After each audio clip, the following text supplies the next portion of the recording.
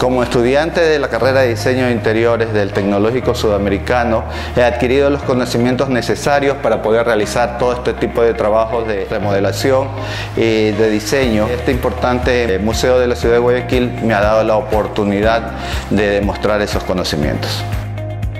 Estudiar diseño de interiores en el Tecnológico Sudamericano es la mejor decisión que he tomado en la vida. En el Tecnológico Sudamericano de Guayaquil nos tomamos muy en serio la carrera de diseño de interiores. Ven a formar parte de nosotros.